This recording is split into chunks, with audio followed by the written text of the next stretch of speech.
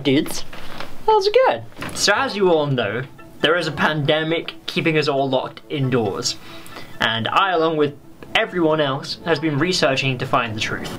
And that's why I haven't said anything on this topic yet, because I didn't know what to say. But now I feel like I've found something worth talking about. I have to be very careful. I can't share my actual thoughts so much, because people that do, and that, that if their thoughts go against what World Health Organization is saying, then YouTube will ban you. So I have to be very careful. But I can show you this show that my sister recommended.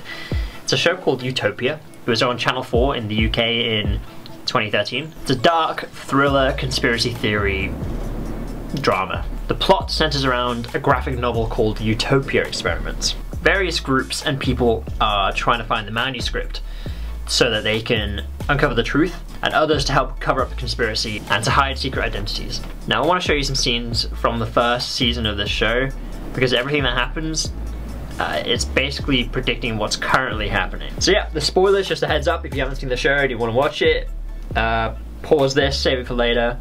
Uh, if you don't care, continue watching. Obviously this is a, this is a show, it's all fiction. A lot of what they're saying it matches up too close to what's currently happening. I just want to say now, before I before anything happens to this video, these aren't my opinions. I'm just showing you a TV show and comparing it to what's currently going on. I'm not gonna say I believe in any of this. I just think it's very interesting and I think you'll find it interesting too. Okay, without further ado, let's get into episode one. Very exciting. Well, yes, that is very. But we still have over 20 million shots of Tamiflu for the swine flu that never hit. Russian flu's been around forever. Michael. According to our research, the H1N1 pathogen, this new strain, is about to mutate and will have potential for mortality rates in the hundreds of thousands. We've made a thorough report. And we don't agree with it. Neither does the WHO or the Geneva Medical Institute. So there's a meeting between two vaccine companies, the evil sellers and the buyers. Uh, I'm sure you can tell which one's which. The sellers make up a report and estimate that the new strain is about to mutate with the potential of mortality rates in the hundreds of thousands. This is clearly a lie to sell thousands of vaccines to this company. I'm not, not going to explain the uh, show too much.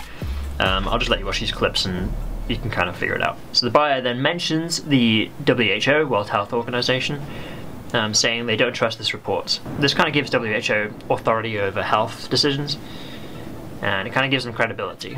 Like they're like the people that you look up to to decide what's true and what's not. That's already flawed because then they decide to push a narrative. We have to kind of believe them because they are the top of the top. In the Shetland Islands, we can confirm two more people have now died, bringing the death toll to 11. That's 11 now dead on the Shetland island of Fetlar from the suspected outbreak of Russian flu. So there's a news report playing saying that 11 people have died in the Shetland Islands off the coast of the UK from the Russian flu. That's the flu vaccine that they were trying to sell in the previous episode. So already, like, kind of light bulbs going off, like, hmm, people just died of this flu that they're trying to sell the vaccine for? That's very convenient timing. The last thing your father was working on were viral delivery vectors that attack the human genome. And Tate, what did he say? Said that this is the end. He said that we are all finished. And he took his own life. Later in the episode, they are discussing a scientist, the main character's father, who is working on viral deliver vectors that attack the human genome, which is a set of nuclear, nucleic acid sequences for humans, encoded as DNA within the 23 chromosomes, pairs in cell nuclei, and then the scientist took his own life. So a lot of those words I didn't understand. Basically, he was creating a virus that attacks certain genomes. Something to do with DNA. I d I didn't really understand this part, so I'm not going to try and pretend like I understand it. You want a sample? Yes, it's, it's, it's all filled. It, it's all in order. The, the, uh, the, the paperwork is. What do you want it for? Later again, there's a news report saying that the Shetland Islands are now under quarantine due to Russian flu outbreak. When I was watching the show, this is when I was like, hang on a second, this is currently happening. I've never watched a show where quarantine has like been a thing, except for like zombie movies. But the show says that there was a, a virus and they've had to quarantine the island. What did Jessica tell you about her father's ideas, Ian? On racial purification? What? He's a fucking Nazi. Philip Carvel wrote a paper called The Survival of the Genome in which he advocated a human cull. This is the same man who became involved with weaponizing disease. Episode 3, they're talking about that same scientist, eh, saying he wrote a paper talking about a human cull. He also weaponized the disease. This was for racial purification. Essentially the same thing that Hitler was attempting, eradicating a race that he didn't like to kind of purify the planet. So he was trying to get blonde eye, blue eye, blonde hair people to kind of be the only race. And he really didn't like Jews, and I'm not sure why. I don't know much about Hitler. indicated that everyone who died had an underlying health problem. However, three apparently healthy men in their 20s are now Later in the same episode, there's a news report. The news is reporting everyone who died of the Russian flu had underlying health problems. This is insinuating that the virus wasn't actually the cause of death, and in fact, these people were already sick or unwell, or that they caught this thing and that it was enough to push them over the edge. That's kind of similar to what we're hearing now. Like, we're hearing that the numbers are being inflated in hospitals, people are dying from other things, and then it's being blamed on COVID. So yeah, I can't really dive into this because this isn't this isn't really. I'm not trying to share what I'm reading. Like what I'm reading, I don't know. I don't know if I believe it or not. Uh, I just want you to understand that I'm just trying to share a TV show, and I think it's kind of weird that it matches up with what's happening right now. It gets weirder though. I promise. It gets weirder.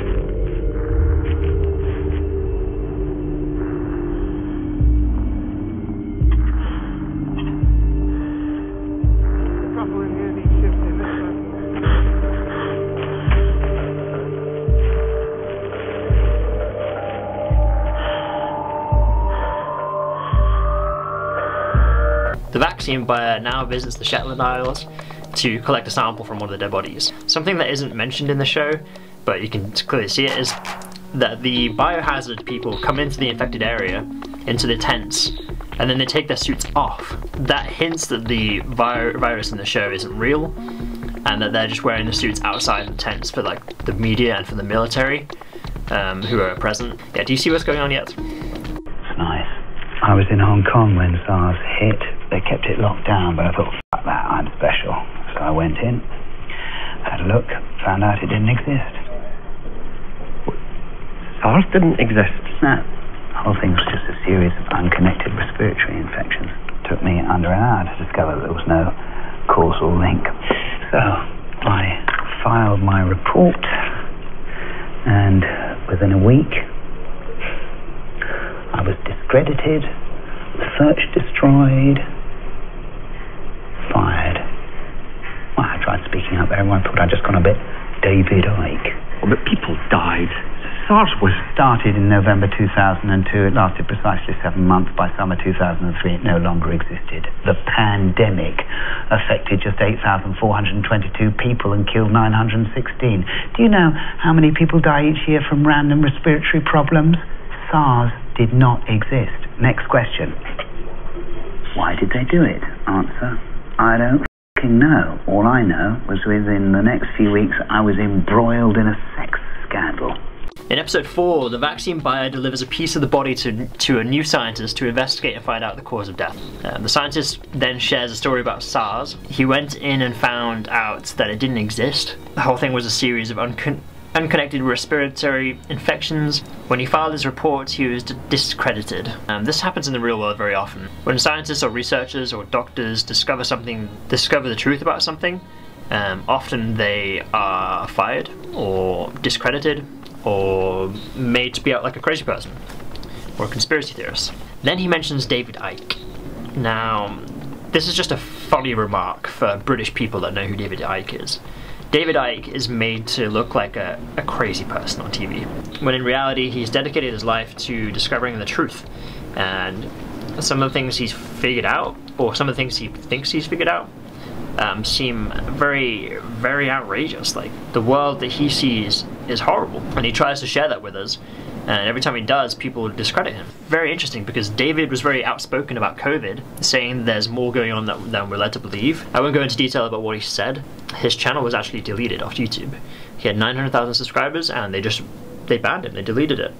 And now, anytime that he does a live stream on anybody else's channel, um, such as like London Real, they will ban the live stream while it's currently airing, uh, forcing him to go to like other websites. Now, this happened last year with Alex Jones, if you guys remember that. Social media dis- discredits them, deletes them, um, tries to silence them in any way they can. Yeah, it's messy stuff.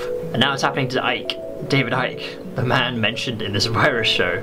I thought that the coincidence was too too funny. Um, if you know who David Icke is, or if you've listened to any of his stuff about COVID, um, it just makes the show a bit more scary that they mentioned that. It's, it's not what you think. Oh, Jesus Christ. It was chemical poisoning.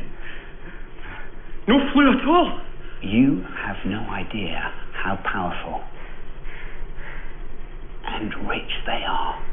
So the fact the scientist finds out the truth about what killed those 11 people on the island, it was chemical poisoning and not a virus. Now this is all fiction, this is all just TV show. I'm not saying this is what's currently happening. I just think that it's very interesting. The scientists found out that it wasn't anything to do with flu. The whole thing was uh, a hoax. In the show. In the show, not real life. In the show. What if it's not the disease is selective? What if it's the cure? Russian flu. Corvadt are making the vaccine. Right, how do you get flu? Somebody sneezes and you breathe it in. No, no, no, you ingest it. Mostly you get it on your hands and you ingest it. So they adapt some fucking weapons grade flu virus so that it can be hidden in food. And Corvadt make a vaccine that's only effective on certain races. I mean, after Fetlar, people are terrified. One more outbreak like that and they'll be rioting to get it in their arms. Testing. But you'd need it in so much food. Yeah, you would. See that symbol? It's everywhere in part two. Don't you recognise that symbol?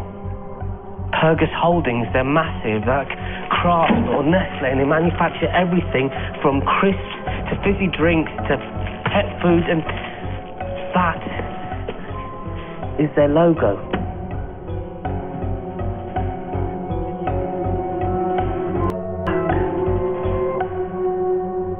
They then theorized the vaccine for the Russian flu is weaponized and is not the flu itself that's doing the harm.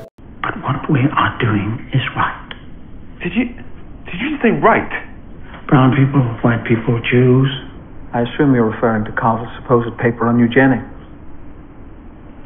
But Carvel was misunderstood. Yeah. Just like Hitler. He wasn't talking about race, he was talking about survival. We've now passed 7 billion on this planet. When I was born, it was a little over 2. Food prices are rising, oil is ending. When our resources end in 20 years, given everything that we know of our species, do you really think we're going to just share? So your answer to that is some kind of genocide? No, it is not. It is not genocide. Our answer to this is Janus. Janus consists of a protein and an amino acid. Independently of each other, they're harmless. But when they're brought together in the subject, they act as a genetic trigger that prevents chromosomal division. The cell targeted can no longer replicate itself and is thereby rendered useless. The change is permanent and hereditary. And which cells are targeted? Those that control fertility, Becky. The purpose of Janus is to sterilize. The purpose of Janus is to sterilize the entire human race. Episode 5. So the bad guy in the show, he explains that the planet is overpopulated and it's going to keep on growing exponentially, and eventually the resources will end and will destroy each other. That's what he's. That's what he thinks. Then he explains that they want to make everyone sterile so they can't reproduce. You're selling it to them. You only want it from me so you can give it to them. Okay, yes, all right. Uh, I should have told you, but I fully intended to split the money. It sterilizes people. Do you know that? So instead of stopping it, you just want to make money. Well, stop it. Why should I want to stop it? They're right. Of course they're right. We have to do it. They discovered that the vaccine was designed to stop people reproducing, it's hereditary, and only doesn't affect one race, of which the creator chooses. So the man who made this this uh, vaccine. They explain this more in more detail in season two, but uh, I didn't think it was important. So the flu was to scare people, and then the vaccine is designed to do the real harm. In the show, in the show, not real life. I'm talking about a show.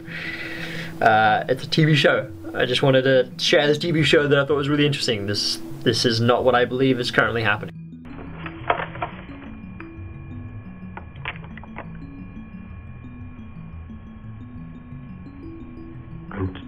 Do know what it does? It sterilizes people. 90 to 95% of the people who receive the Russian flu vaccine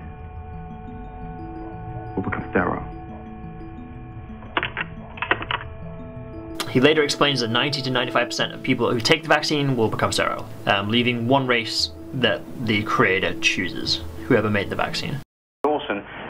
Stepping up production of the vaccine after Fetlar, describing him as a national hero. He said that the health department's contingency planning has potentially averted a crisis that none of us could even bear to imagine. We're telling people to stay calm. Do not travel unless you absolutely have to. Keep children, the elderly, and the most vulnerable at home. We have a vaccine. I repeat, we have a working Russian flu vaccine, and it will be going out tomorrow morning. Episode 6 Government enforcing lockdown and telling everyone that there's a, a working vaccine free for everyone. Obviously, this is happening in real life too. The government has told us that they're enforcing this lockdown and there's fines if people go outside. And it's mostly just fear. It's, it's all it's all fear based. That's what's keeping us indoors. Is that we're afraid to catch, spread this virus to the people that we love. Um, we're afraid, afraid of the hospitals being overrun. In some areas, it seems to be happening. It seems to be that the hospitals are being overrun from what they're sharing with us. And then in other places, hospitals are empty. Doctors being laid off because they don't need them. Maybe that just means that every being locked indoors has actually worked and that we're not overcrowding the hospitals. Yeah. Anyway, this I'm just talking about show. There's a future coming where billions of us are going to be born into poverty and we're going to murder each other in war for water, food, and oil. That's coming. Maybe in our lifetime. That makes the enemy. What if the enemy's right? The good guys are debating whether the bad guy is right or wrong, explaining overpopulation will result, result in war, fighting for resources, which we're already kind of doing. Kinda, we're fighting for territory and, and oil.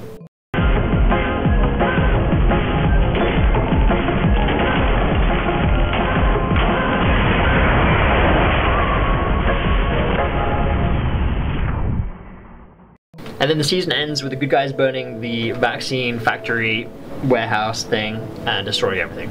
It's a very, very fun show. I, I thought I would share these clips so you guys have like an idea of it. I didn't want to. I didn't want to share too much to kind of spoil it all. Uh, there's two seasons of the, of the show. The third season was cancelled, but there is a, a book apparently that that shares what happened in the season three. Um, I haven't read it, but I might go discover what was written. I just find it all very interesting. Like the news throughout the show constantly kind of drilling in fear with the red text and the red backgrounds. Like the talking head meant to look like an authority figure because they're wearing a suit and yeah, it's just kind of drilling into everyone that we have to we have to live in fear, live in fear, stay indoors, all that stuff. Yeah, the show came out in 2013 and I can see why they didn't do a third series. If none of that made sense, basically there was a scientist who made a vaccine for a virus. In the show, the virus turns out to be fake. The vaccine was actually sterilizing the human population to try and stop people from reproducing. And it's hereditary, so their kids wouldn't even be able to reproduce. So it would have essentially taken the population down to what they said in the show, like 500,000. Which is absurd. There is enough space on this planet if we spread out a bit more and learn to bring water to deserts. That's an idea. And I think as the Earth starts to warm up a bit more, places like Greenland and Russia will start to defrost and be able to use all that free land. Um, that will obviously displace, displace everyone in like the hotter areas like South Africa or middle of Africa, kind of South America and like most of Asia will have to move north. But I think there's enough space for us all. I really do. I feel like my generation aren't really reproducing very much. I don't know many people that have had kids my age yet. And I believe that's because we don't want to bring people into a planet that isn't ready for them. I can't see myself bringing any children into this planet unless things get better. We're still at war. Different countries are still at war with each other. That doesn't seem very safe. That just means everyone's like on edge. Uh, the climate's still heating up, so like everything's gonna start changing. Like like even Wales is starting to change. The weather here is different to how I remember it as a child. Something weird that's happened that I'll mention in this video, and I was going to go into detail on my second channel, but um, since lockdown has happened three months ago, uh, it's only rained nine days, nine days in three months in Wales. That's very unusual and quite concerning. Grass is all turning brown, um, plants are struggling, vegetables are struggling, and I believe it's just probably got something to do with the pollution that we're producing. Because no one's driving and flying at the moment, we're not creating any like artificial clouds. So because of that, we're just getting a lot of sun. And it's very hot sun because the temperature of the planet is going up. But yeah, that's just a theory. So I just want to reiterate that I was just sharing a show that I like with you guys, my dudes. I think it is quite, it's quite freaky what they say in the show because it's very similar to what's happening right now. I obviously can't share my thoughts on it I just believe that, sure, like, they're not telling us the truth, sure. But who are they? I don't even think the government know what's going on. I think there's somebody else responsible for all, of this. Just do your own research. You can obviously theorize in the comments down below. I'll be down there discussing with you guys because I love talking about this stuff and theorizing and just like just trying to figure it out. You know, even though that none of us can know anything for certain, we don't know what the truth is and I can't like direct you guys to just websites to watch or listen to. Like, I don't know. If you want to watch this show anyway, it's on Amazon. There's two series. Uh, there's a lot of blood and violence. All we can do is like be safe out there. Don't put yourself in harm's way. Go plant-based maybe. Going plant-based is like the best thing you can do for your body, your health, and your mind. Get rid of all the toxins that we've been consuming our whole lives. Like start eating plants, drink a lot of water, get rid of soda, sugar, caffeine, all that crap, alcohol, like you don't need any of that in your body. The drugs you consume will trick you into thinking that you need them. It's very hard to get out of that mindset and once you go sober, you'll see what I'm talking about. The drugs aren't good for you, but they trick you. Like for me, my my worst demon was caffeine.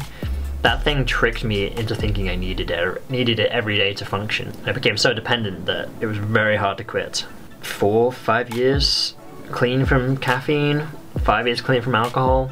Sugar, refined sugar, I've been pretty much clean from. Like, I don't know if I've been consuming it. I haven't been so specific, but candy, clean from that.